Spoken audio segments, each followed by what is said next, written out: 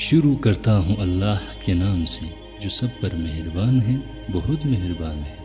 हज़रत अबू हुरेरा रज़ल्ला से मरवी है कि नबी करीम सल्लल्लाहु अलैहि वसल्लम ने फरमाया, तुम में से कोई शख्स मौत की तमन्ना न करे, क्योंकि अगर वो नेकुकार है तो हो सकता है कि इसकी नेकियों में और इजाफा हो जाए, और अगर वो गुनाहगार है तो हो सकता है आगे ज़िंदगी में इसे तोबे की तोफ़ीक नसीब हो। और नबी करीम सल्लल्लाहु अलैहि वसल्लम ने इरशाद फरमाया अनकरीब ज़माना करीब आ जाएगा। लोगों के दिलों में बखल और कंजूसी उड़ेल दी जाएगी। फितनों का जहूर होगा और हर्ष यानी कतल की कसरत होगी।